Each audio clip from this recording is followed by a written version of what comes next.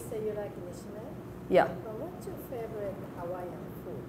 Uh, You know, favorite in Hawaiian Hawaii food. They have lots of food like lau lau. Yeah, yeah, yeah. Pig, salmon, Yeah. sausage. Yeah, she knows all of them. Uh, so if I were to go to a Hawaiian restaurant, I would probably get lau lau and lomi salmon.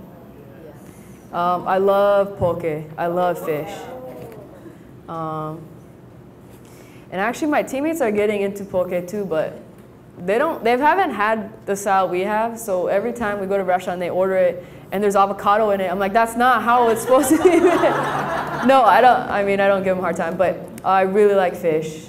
Um, love sushi. If I were to go to like a plate lunch place, like Hawaiian barbecue, I love short ribs. Um, you know, all you cooks out there. No, I'm just kidding. Um, my other favorite is Korean, and I like meat jun. I'm pretty sure that's not authentic, but I like meat jun.